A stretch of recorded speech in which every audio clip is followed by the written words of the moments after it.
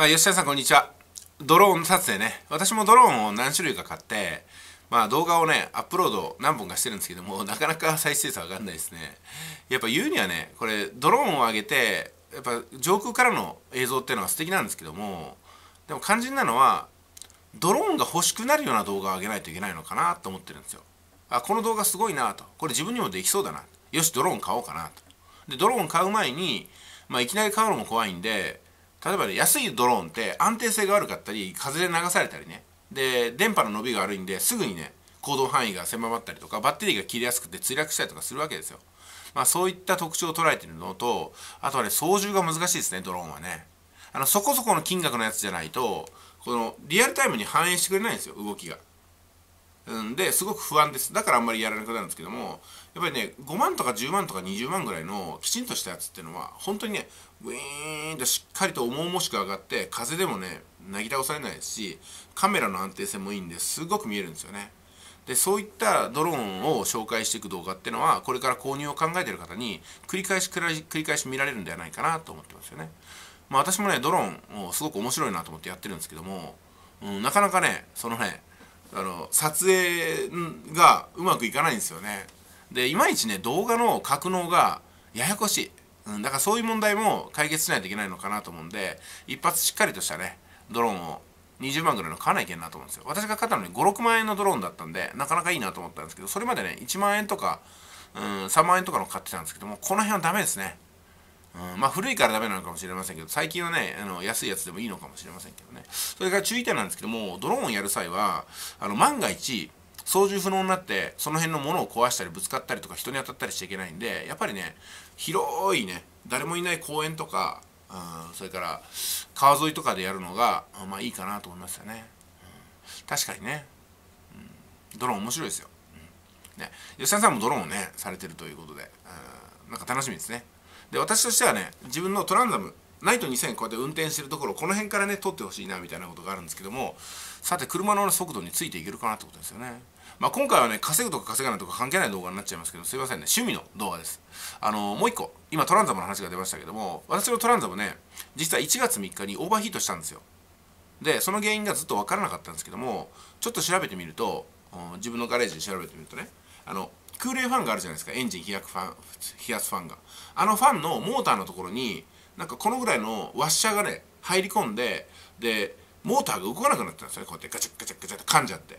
でそこに電流がどんどんどんどん流れるもんだから電流の線が切れてでファンが回んなくなってたんですよ。もう断線して。え電気いかなくなっちゃって。でそういう状態だったんですぐにオーバーヒートしたんですけども原因が分かったことによってそれを外してできちんと磨いてね。で、ファンが回るようにしてつけたらむちゃくちゃ調子いいんですよ。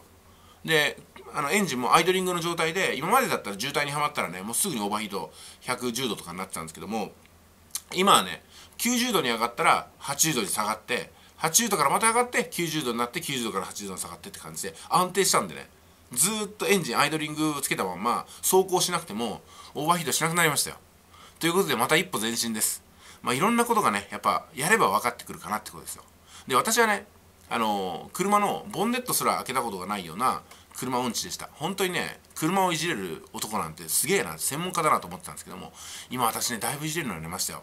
今年の春から始めてえー、リンケージとかをやったりとかね、まあ、エンジンとかペダルとかもういろんなトラブルに見舞われながら一個一個解決してって今はね結構怖くないですね。そして今度はね専門工具を買ったろうかなと思うんですよ。専門工具高いんですよね車の専門工具。まあでもねそれがあったら勝手にこうやって締めれますしね。緩めたりとかこういろいろとね楽しみだなと思います。そしてそれを格納するガレージが必要だなってことに気づいたんですよ。やっぱね屋根がついてるとはいえほとんど野ざらしの私のガレージですからあのー、古い車をこうしっかりとね保存する時には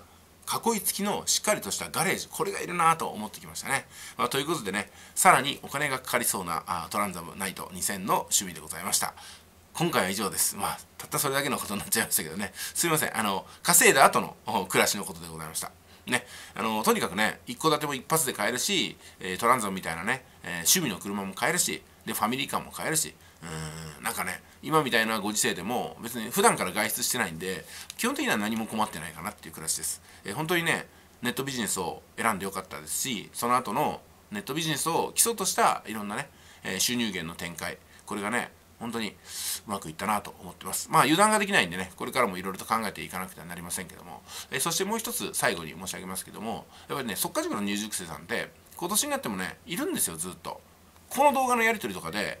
来てくれるんですよね、まあ、ですからまずは最初は分かんないけどもあの動画を発信するってことをやっていただきたいなと思います。多分そういうふうにあのデジタル放送をね個人ですることがこれからの収入源の一つになると思うんですよ。そしてこの収入源の一つということもパイの取り合いになってきますから最初に参加した人はまだいいですけどもね、うん、これから例えばね3年後とか5年後に YouTube をやる人はもう手遅れだと思いますよ。いやもう今年が最後のチャンスだと思ってやった方がいいと思います。今までもずっと今年がチャンスかなと思ってたんですけどももう今回は極めつけです。5G の、うん、流入によってすでに動画マーケットっていうのも河川が起きてるんじゃないかなと思うんですよ。新規参入がむちゃくちゃ難しい状態ですね、うん、もうだって再生時間が残されてないんですよ。可処分時間が。で人数は減るじゃないですか。少子高齢化で。それ YouTube 見る人の人数これから減りますからね、うん、なかなかなかなかうまくいかないですよ。まあ以上のようなことをお話してね今回は億万長者合宿リメンバーあ終わっていきたいと思います。いってらっしゃい。